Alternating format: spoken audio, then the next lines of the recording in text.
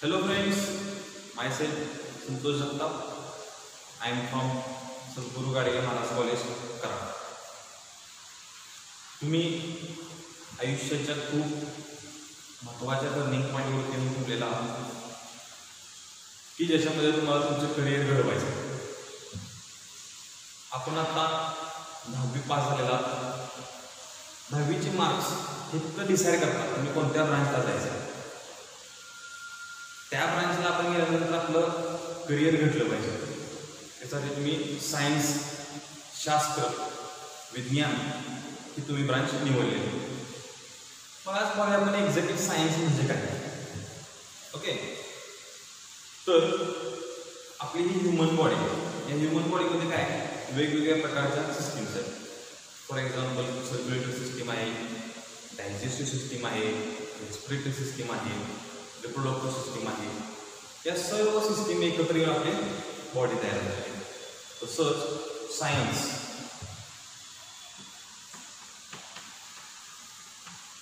सायन्सलाच मराठीमध्ये विज्ञान म्हणतं किंवा त्याला शास्त्र म्हटलं तरी चालतं त्याला शास्त्र म्हटलं तरी चालतं सायन्स हा सब्जेक्ट आहे सायन्स या सब्जेक्टचे बेसिकली आपण चार भागामध्ये चार भाग फिजिक्स त्याला मराठीमध्ये आपण भौतिक शास्त्र म्हणतो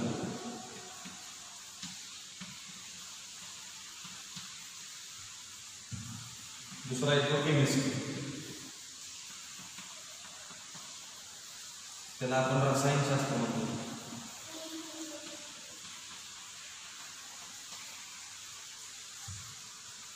पुढे येते बायोलॉजी त्याला आपण जीवशास्त्र म्हणतो. सांगतो म्हणतो मॅथमॅटिक्स त्याला आपण गणित म्हणतो. आपल्या आजूबाजूने घडणाऱ्या गोष्टींचा अभ्यास करणे त्याला म्हणायचं भौतिकशास्त्र Physics is the branch of the science which deals with study of nature and natural phenomena. त्याला असं पण म्हटलं जातं it is the science of measurement हे मोजमाप करण्याचं मॅथशास्त्र आहे त्याला सुद्धा फिजिक्स म्हटलं जातं केमिस्ट्री वेगवेगळ्या रसायनांचा अभ्यास करणार आहे वेगवेगळ्या केमिकलचा अभ्यास करणार आहे ती जी ब्रांच आहे त्याला म्हणायचं केमिस्ट्री जीवशास्त्र वेगवेगळ्या जीवांचा अभ्यास करतात थोडक्यात. ज्या गोष्टीमध्ये जीव आहे त्या गोष्टी सजीव आहेत लिव्हिंग थिंग्स त्यांचा अभ्यास करणे म्हणजे बायोलॉजी असतो ओके आणि शेवटी आपण घेतोय गणित. सायन्समध्ये सायन्स आहे आणि या सायन्समध्ये जे मॅथमॅटिक्स आपण वापरणार आहोत त्या मॅथमॅटिक्सचा अभ्यास आपण मॅथ्स या विषयामध्ये करणार आहोत गणित मध्ये करणार आहोत. तर आपण थोडंसं पुढं जाऊया. फिजिक्सबद्दल थोडंसं डिटेलमध्ये डिस्कस करूया. पुन्हा एक आहे म्हणजे आपली जी बॉडी आहे ती वेगवेगळ्या सिस्टीममध्ये डिवाइड केली जाणार आहे. या सर्व आपण सिस्टीम मानूया. ही आपली बॉडी बॉडी मानूया. ती सिस्टीम नंतर पुन्हा एक वेगवेगळ्या ऑर्गन्समध्ये डिवाइड केली असणार आहे. ओके तसं फिजिक्स आहे ते वेगवेगळ्या ऑर्गन्समध्ये डिवाइड केलेलं असणार आहे. अगदी सुरुवातीपासून घेऊया आपण ऑप्टिक्स ऑप्टिक्स म्हणजे काय? It is the branch of the physics which deals with the light and its phenomena म्हणजे ऑप्टिक्स म्हणजे काय फिजिक्सची शाखा आहे.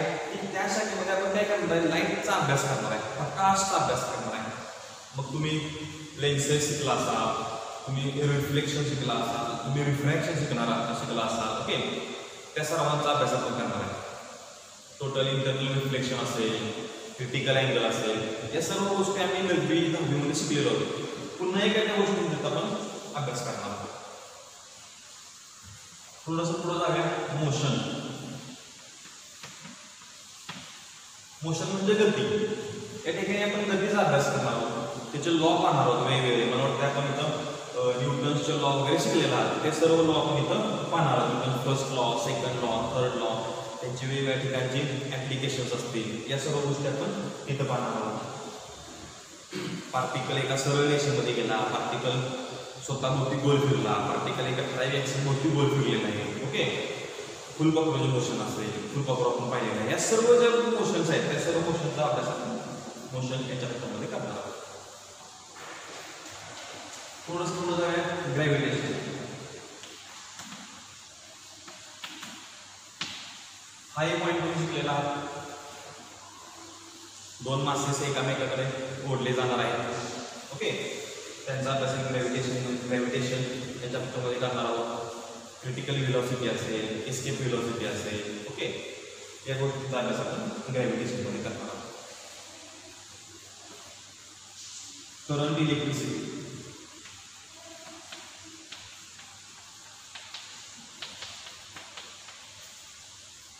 करंट इलेक्ट्रिसिटीमध्ये आपण होम्स लॉ वगैरे नववी किंवा दहावीमध्ये शिकलेलो आहोत. वेगवेगळे ॲप्लिकेशन्स पाहिलेले आहेत.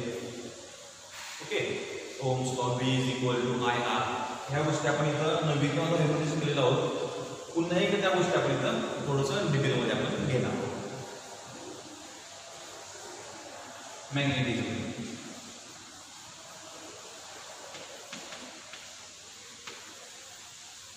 मॅग्नेटिझम म्हणजे मॅग्नेट्स वेगवेगळ्या शेपचे मॅग्नेट असतील.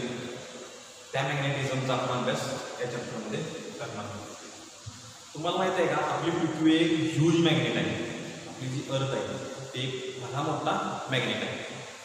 आणि त्या भला मोठ्या मॅग्नेटचा पण अभ्यास आपण या मॅग्नेटिझम चॅप्टरमध्ये करणार आहोत. या सेक्शनमध्ये आपण करणार आहोत. पुढचा जो सेक्शन येतो तो इलेक्ट्रोमॅग्नेटिक इंडक्शन हा सेक्शन आहे. इलेक्ट्रोमॅग्नेटिक इंडक्शन म्हणजे काय असणार आहे? इलेक्ट्रो मॅग्नेटिक म्हणजे इलेक्ट्रिक एनर्जी मॅग्नेटिक एनर्जी या दोघांचा एकामेकाबरोबर काय संबंध आहे का? ओके आणि तो कशा प्रकार आहे? यांचा अभ्यास आपण इलेक्ट्रोमॅग्नेटिक इंडक्शन या सेक्शनमध्ये करणार आहोत. म्हणजे एक्झॅक्टली मी पाचवी सहावीमध्ये असताना आपण शिकलेलो आहोत की डॅम आहे पाणी अडवलं जातं आणि त्या डॅममधून पाण्याचं रेग्युलेशन जातात आणि त्या त्या टर्बाईनपासून इलेक्ट्रिसिटी जनरेट आणि ती इलेक्ट्रिसिटी आपण वेगवेगळ्या यूज़ करणार आहे. ओके? मग ती कशी काय इलेक्ट्रिसिटी तयार होते? मॅग्नेट म्हणजे काय असणार आहे? तो जो टर्बाईन आहे, त्यामध्ये काय मॅग्नेट आहे? मग तो मॅग्नेट गोल कशी काय बरं इलेक्ट्रिसिटी तयार होते? तो जो कन्सेप्ट आहे इलेक्ट्रोमॅग्नेटिक इंडक्शन या सेक्शनमध्ये आपण पाहणार अजून पुढे पाहिलं तर आपण न्यूक्लिअर न्यूक्लिअर फिजिक्स हा सेक्शन येतो. न्यूक्लिअर फिजिक्स म्हणजे काय? आपल्याला सर्वांना माहीत आहे. ॲटम्स मॉलिक्युल्स ॲटममध्ये कोण असणार आहे? तर न्यूक्लियस आहे. न्यूक्लियसमध्ये इलेक्ट्रॉन्स सर्क्युलर ऑर्बिटमध्ये गोल फिरत असणार आहे तर त्या सर्वांचं जे न्यूक्लियस आहे. न्यूक्लियस आहे. त्या न्यूक्लियसचा डिटेलमध्ये अभ्यास आपण न्यूक्लिअर फिजिक्स या सेक्शनमध्ये करणार आहोत. न्यूक्लिअर फ्युजन रिएक्शन असेल न्यूक्लिअर फिशन रिएक्शन असेल बॉम्ब असतील ओके ॲटम बॉम्ब असतील त्या सर्वांचा अभ्यास आपण या ठिकाणी करणार न्यूक्लिअर फिजिक्स थोडंसं पुढं जाऊया हे हे जे सर्व तुम्ही फिजिक्स पाहिलेलं आहे ते तुम्ही फिजिक्स नववी किंवा दहावीला पण पाहिलेलं आहे मग आता पुन्हा एक वेळ का शिकायचं आहे मी ज्या वेळेला लहान होतो आणि त्यावेळेला मला जर कोण म्हटलं असेल तर एबीसीडी म्हणून दाखव तर त्या ठिकाणी मी म्हणत असताना ABCD for apple B for ball C for cat असं म्हणणार आहे. पण आता काय झालं मी ज्या वेळेला सातव्या वेळेला गेलो आणि त्यावेळेला जर मला कोणी विचारलं असेल एबीसीडी म्हणून टाकतो तर मी तशी म्हणणार नाही ABCD me A B C D E F G असं म्हणत जाणार आहे. याचा अर्थ काय झाला हो? माझे जे मुद्द्यांक होता माझे जे अभ्यास करण्याचे मुद्दे आहे बौद्धिक पातळी माझी ते सातव्या वेळेला वाढलेले आहे. पहिली दुसरीला लहान. पुन्हा एक वेळ हे सर्व मी तुम्ही जे नवीन ते हे सर्व शिकलेलं आहात ते पुन्हा एक वेळ आपण शिकणार आहे सर्व. डिटेलमध्ये अभ्यास करणार ओके मग फरक काय आहे? एबीसीडी मी लहान असताना एक वर ॲपल बी फॉर्मला अशा बी फॉर अशा आता म्हणतो तसे आता म्हणताय का मी? नाही. आता म्हणत असताना मी एबीसीडी म्हणणार म्हणजे याचा अर्थ काय झाला? तर हे सर्वांचा अभ्यास मी पुन्हा एक वेळ करणार आहे. पण थोडासा डिटेलमध्ये करणार आहे. या सर्वांचे मी ॲप्लिकेशन्स पाहणार. ओके चला मग आपण काय पाहूया आता? फिजिक्समध्ये आपण इलेव्हन स्टँडर्डमध्ये कोणते कोणते चॅप्टर पाहणार आहेत? त्या चॅप्टरचे आपण नाव बघूया.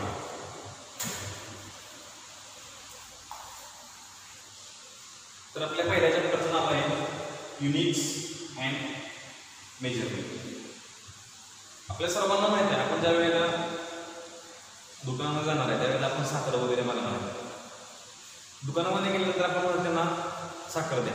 तर तुम्हाला विचारणार आहे किती किलो पाहिजे? म्हणजे याचा अर्थ काय झाला? साखर ही जी फिजिकल क्वांटिटी आहे ओके ही मेजर करायचं जे युनिट आहे ते काय तर किलोग्रॅम अशा प्रकारे लेंथ असेल टाईम टेम्परेचर करंट आणि वेगवेगळ्या physical quantity area volume density या सर्व फिजिकल क्वांटिटीचे युनिट्स आणि त्यांचे मेजरमेंट करण्याचे वेगवेगळ्या पद्धती. हे आपण युनिट्स अँड मेजरमेंट या चॅप्टरमध्ये पाहणार दुसऱ्या चॅप्टरचं नाव आहे मॅथमॅटिकल मेथड्स मॅथमॅटिकल मेथड्स या चॅप्टरमध्ये आपण फिजिक्समध्ये आपण वापरणार आहे जे मॅथमॅटिकल फॉर्म्युले जे मॅथ्समधील बेसिक कन्सेप्ट आहे. ते या ठिकाणी आपण त्यांचा अभ्यास आपण या ठिकाणी करणार आहे. वेक्टर स्केलर ओके त्या काय पाहिजे त्या सर्वांचा अभ्यास आपण मॅथमॅटिकल मेथड्स या चॅप्टरमध्ये करणार आहोत. दुसऱ्या चॅप्टरचं नाव आहे मोशन इन प्लेन. आता मोशन इन प्लेन म्हणजे काय? समजा मी सरळ चालवली गेलो तर ही वन डायमेन्शन मोशन झाली. एक्स एक्स असेल अगर वाय एक्स असेल. पण मी जर चालत येता चालत जाताना असा तिरका जर चालत गेलो तर याबद्दल आपल्याला एक्स एक्सेस आहे याबद्दल आपल्याला वाय एक्सेस आहे. Along this X axis or Y axis ही जी मोशन आहे या मोशनला म्हणायचं वन डायमेन्शनल मोशन काय म्हणायचं? वन डायमेन्शनल मोशन पण मी असा जर मध्ये जर चालत गेलो तर त्याला म्हणायचं two dimensional motion two dimensional motion म्हणजेच मोशन इन प्ले ओके चॅप्टरचं नाव आहे मोशन इन प्ले मग याच्यामध्ये आपण वेगवेगळ्या मोशन पाहणार आहोत. ओके वेगवेगळे लॉ पाहणार आहोत. पुढे. लॉज ऑफ मोशन या चॅप्टरमध्ये आपण न्यूटन्सचे लॉ वगैरे पाहणार आहोत. Newton's first law Newton second law Newton's third law आणि त्या सर्व लॉजिक ॲप्लिकेशन्स पाहणार हे सर्व आपण लॉज ऑफ मोशन या चॅप्टरमध्ये पाहणार ग्रॅव्हिटेशन मला वाटतं तुम्हाला दहावीला ग्रॅव्हिटेशन चॅप्टर झालेलं आहे. आणि त्या चॅप्टरमध्ये तुम्ही न्यूटन्स लॉ पाहिलेला आहे ग्रॅव्हिटेशनचा क्रिटिकल व्हिलॉसिटी पाहिली असेल. एस्केप व्हिलॉसिटी पाहिली असेल. ओके फ्री बॉल पाहिला असेल. या सर्वांचा अभ्यास पुन्हा वेगळा अभ्यास करणार आहोत. म्हणजे तो थोडासा आपण अभ्यास करत असताना डिटेलमध्ये अभ्यास करणार आहोत. थोडंसं थोडं जाऊया. पुढचा पॉईंट आहे mechanical properties of solid mechanical properties of सॉलिडमध्ये आपण इलेक्ट्रिसिटी हे बेसिकली इथं अभ्यास करणार आहोत. इलेक्ट्रिसिटी म्हणजे काय? म्हणून तुम्हाला मी समजावून सांगतो. रबर घेतलेलं आहे आणि रबर आपण स्ट्रेच केला. ओके आणि सोडून दिला. ज्या वेळेला मी रबर सोडून देणार आहे त्यावेळेला तो आहे त्या कंडिशनला पाठीमागे येणार आहे. ओके आणि त्यासाठी वेगवेगळ्या प्रॉपर्टीज जे आहेत. त्या आपण मेकॅनिकल प्रॉपर्टीज ऑफ सॉलिड या चॅप्टरमध्ये आपण पाहणार आहोत. या चॅप्टरमध्ये आपण अजून एक पॉईंट पाहणार आहोत फ्रिक्शन फ्रिक्शन म्हणजे काय असणार आहे? घर्षण. ओके? समजा मी सायकलवरून चाललेलो आहोत. एक थोड्या वेळा गेल्यानंतर सायकल जाऊन थांबणार आहे. म्हणजे याचा अर्थ काय होतो सायकल जाऊन काम थांबली? तर रस्ता आणि सायकलचे टायर्स आहेत. यांच्यामध्ये काय होणार आहे? एक प्रकारचं फ्रिक्शन होणार आहे. आणि त्या फ्रिक्शनमुळं तो फ्रिक्शन पार्ट आहे तो त्या मोशनला अपोज करणार. ओके ते एक्झाम्पल्स आणि वेगवेगळ्या प्रकारचे फ्रिक्शन्स आपण या चॅप्टरमध्ये पुढच्या प्रश्नावर आहे थर्मल प्रॉपर्टीज ऑफ मॅटर मला वाटतं हीट तो जो कन्सेप्ट आहे तो आपण या ठिकाणी वापरणार आहे. मग हीटमध्ये आपण लॅटेंट हीट असेल स्पेसिफिक हीट असेल ओके थर्मल कंडक्टिव्हिटी या गोष्टी आपण तिथं पाहणार आहोत. नेक्स्ट आठ नंबर चॅप्टर आहे त्याचं नाव आहे साऊंड साऊंड कसा जनरेट होणार? ओके साऊंड ट्रॅव्हल कसा होईल? या गोष्टींचा अभ्यास आपण इथं साऊंड जनरेटमध्ये पाहणार साऊंड या सेक्शनबद्दल बोलायचं झालं तर अजून एक कन्सेप्ट असा आहे की ट्रेन थांबली असेल मी ट्रेनच्या बाजूला गेलो आवाज वाढत जाणार आहे. मी थांबलेलो आहे ट्रेनमध्ये जवळ आली आवाज वाढत जाणार आहे. ट्रेन आणि मी एकामेकाच्या बाजूला चाललो आवाज वाढत जाणार आहे. दोन एकामेकापासून लांब गेलो आवाज कमी होत जाणार आहे. या गोष्टींचा अभ्यास आपण साऊंड या पाहणार आहोत. नववीला किंवा दहावीला तुम्ही डॉप्लर इफेक्ट हा पॉईंट इथं पाहिलेला असेल. ओके? डॉप्लर इफेक्टचे अजून थोडीफार ॲप्लिकेशन्स आहेत. तुम्हाला फक्त एकच सांगतो आपण ऐकलेलं आहे रडार रडार एका एका ठिकाणी थांबलेलं असणार आहे. आणि ते कंटिन्युअसली इलेक्ट्रोमॅग्नेटिक वेव्ह पास करत असणार आहे. एखाद्या ऑब्जेक्टला त्या इलेक्ट्रोमॅग्नेटिक वेव्ह इन्सिडन्स होऊन रिफ्लेक्ट होतील. इन्सिडन्स झालेली वेव्ह आणि रिफ्लेक्ट झालेली वेव्ह या दोघांचं अनालिसिस करून ठरवलं जातं. तो ऑब्जेक्ट हा आपल्या बाजूने येतोय की आपल्यापासून लांब झालेला आहे ओके? या सर्व गोष्टींचा अभ्यास आपण पाहणार थोडंसं पुढं जाऊया. मग सांगितलं पद्धतीनं ऑप्टिक्स ऑप्टिक्समध्ये आपण लाईटचा अभ्यास करणार आहे. रेनबो असेल प्रायमरी रेनबो असेल सेकंडरी रेनबो असेल. ओके? आपल्याला आकाश निळं प्रकाश हे निळं का दिसतं लाल का दिसणार नाही ओके? त्या सर्व गोष्टींचा अभ्यास आपण ऑप्टिक्सच्या सेक्शनमध्ये पाहणार दहा नंबर चॅप्टर आहे तो इलेक्ट्रोस्टॅटिक्स इलेक्ट्रोस्टॅटिक्सबद्दल बोलायचं जर झालं. तर आपण लहानपणी असताना शाळेत स्कूलमध्ये असताना आपण एक खेळ खेळायचो बघा. स्केल घ्यायचो डोक्याला सरळ करायचो. आणि कागदाचे तुला ठेवायचो. आणि त्याच्यामध्ये स्केल ठेवली. ती कागदाचे तुकडे ते स्केलला अट्रॅक्ट होते. ओके असं का होतं किंवा अजून मी ज्या वेळेला स्वेटर घेतलं घेतलेलं आहे आणि स्वेटर ज्या वेळेला मी काढत असणार आहे त्यावेळेला हातावर त्याच्या थोडेसे पुरं असं मोबाईल बघा. ते एक असेल किंवा तुमचा टी व्ही सेट चालू असेल टी व्ही चालू असेल.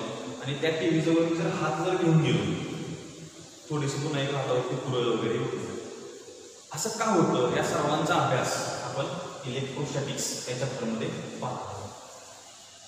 पुढचं सेक्शन किंवा पुढच्या चॅप्टरचं नाव आहे इलेक्ट्रिक करंट थ्रू कंडक्टर एखाद्या कंडक्टरमधून इलेक्ट्रिक करंट पास झाल्यानंतर त्या ठिकाणी वेग होणाऱ्या वेगवेगळ्या गोष्टींचा अभ्यास ओम्स लॉ असेल कंडक्टिव्हिटी असेल रेसिस्टिव्हिटी असेल या सर्वांचा अभ्यास आपण इलेक्ट्रिक करंट थ्रू कंडक्टर याच्यामध्ये आपण पाहणार आहोत.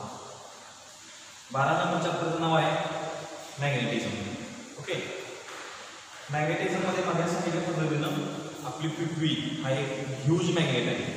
आणि त्या पृथ्वीचं जे मॅग्नेटिक फील्ड आहे त्या मॅग्नेटिक फील्डचा अभ्यास आपण मॅग्नेटिझम चॅप्टरमध्ये करणार आहोत. पुढं तेरा नंबर चॅप्टर आहे electromagnetic wave and communication system आता आपण पाहूया कम्युनिकेशन म्हणजे काय. कम्युनिकेशन म्हणजे काय असणार आहे? दळणवळण असणार. ओके किंवा एकामेकाशी आपण बोलणं बोलतो ओके मग ते एक्झॅक्टली ते कम्युनिकेशन सिस्टीममध्ये आपण ते पाहणार आहे. रिसिव्हर असेल ट्रान्समीटर असेल त्या गोष्टी आपण कम्युनिकेशन सिस्टीममध्ये पाहणार आहोत. बेसिकली पॉईंट आहे इलेक्ट्रोमॅग्नेटिक वेव्ह म्हणजे काय? ओके इलेक्ट्रोमॅग्नेटिक वेव्ह त्या वेव्हबद्दल जर बोलायचं असेल तर आजकाल आपण सर्व मोबाईल वापरतोय. ओके मग मी इथं बोलतोय. बोलल्यानंतर मोबाईलमध्ये तो जो साऊंड आहे तो इलेक्ट्रोमॅग्नेटिक वेव्हमध्ये कन्व्हर्ट केला जाईल. तो इलेक्ट्रोमॅग्नेटिक वेव्ह ज्या आहेत त्या जवळच्या तुमचा जो ऑपरेटर असेल त्या ऑपरेटरच्या जवळला जाणार आहे. तिथून त्या तुम्ही ज्याच्याशी बोलणार आहे तुमच्या मोबाईलमध्ये पास होणार आहे. ओके ह्या सर्व गोष्टी त्या सर्व इलेक्ट्रो या सर्व गोष्टींचा अभ्यास आपण electromagnetic wave and communication system याच्या हातामध्ये करणार आहोत. इलेक्ट्रोमॅग्नेटिक वेव्हचे पण पास कशा होणार आहेत? त्या ग्राउंड वेव्ह असतील स्काय वेव्ह असतील ओके या सर्वांचा अभ्यास आपण इलेक्ट्रोमॅग्नेटिक वेव्हच्या पद्धतीने पाहतो. लास्ट चॅप्टरचं नाव आहे सेमीकंडक्टर सेमीकंडक्टरमध्ये आपण वेगवेगळ्या प्रकारचे जे वेगवेगळ्या प्रकारचे जे सेमीकंडक्टर डिव्हायसेस आहेत यांचा आपण अभ्यास करणार आहे. ओके म्हणजे काय असणार? अगदी सुरुवातीला ज्या वेळेला रेडिओचा शोध लागला होता त्यावेळेला तो रेडिओ भरपूर मोठा होता. पण हळूहळू अलीकडे आपण जसं आलेलं आहे. तसं रेडिओ इतका स्मॉल झालेला आहे की एका पेनच्या साईजमधून आपल्याला रेडिओ मार्केटमध्ये मिळू शकतो. म्हणजे सेमिकंडक्टर डिव्हायसेसचा शोध लागला. आणि पूर्ण इलेक्ट्रिक फील्ड आहे ते इलेक्ट्रिक फील्डच चेंज झालं. त्या प्रकारचे सेमिकंडक्टर्स आहेत वेगवेगळ्या प्रकारचे सेमिकंडक्टर आहेत थोडेसे बेसिक सेमिकंडक्टर्स आहेत त्यांचा अभ्यास आपण इथं सेमिकंडक्टर डिव्हाइसमध्ये पाहणार आहोत. त्यांचं वर्किंग असेल ओके? त्या सर्व गोष्टींचा अभ्यास आपण सेमिकंडक्टर डिव्हाइसेस या चॅप्टरमध्ये पाहणार आहोत. जनरली घेत असताना आपण हा सेक्शन फर्स्ट म्हणत असतो आणि हा सेक्शन सेकंड म्हणत असतो ओके तर फिजिक्सचा अभ्यास काय इम्पॉर्टंट आहे? कारण फिजिक्सचा ज्या वेळेला आपण अभ्यास करत असणार आहे त्यावेळेला आपण जो फिजिक्सचा अभ्यास करतोय फिजिक्सचा अभ्यास करत असताना आपल्याला बेसिक कन्सेप्ट क्लिअर करत करत पुढं अभ्यास करत जायचं. ओके तुमचे बेसिक कन्सेप्ट जेवढे क्लिअर असतील तेवढं तुम्ही चांगल्या प्रकारे फिजिक्स तुम्हाला पटपट पट समजून जाणार आहे. प्रत्येक एक्झाम्पल तुम्हाला सांगतोय की मला अखंड मोठी एक बिल्डिंग इमारत उभी करायची आहे. जेवढी मोठी तुम्हाला बिल्डिंग उभा इमारत उभी करायची तेवढा तुम्हाला त्याचा पाया पण पाहिजे. तेवढा पाया थोडा स्ट्रॉंग पाहिजे. ओके म्हणजे तुमचे जेवढे बेसिक कन्सेप्ट क्लिअर असतील तेवढ्या प्रकारे तुमचं तेवढ्या त्याच प्रकारे किंवा तेवढ्या पद्धती तुमचं फिजिक्सचे जे नॉलेज आहे तुम्ही मिळवत जाणार ओके जाता जाता फक्त एकच सांगेन ज्याची फिजिक्सवर कमांड त्याला जगभर डिमांड थँक्यू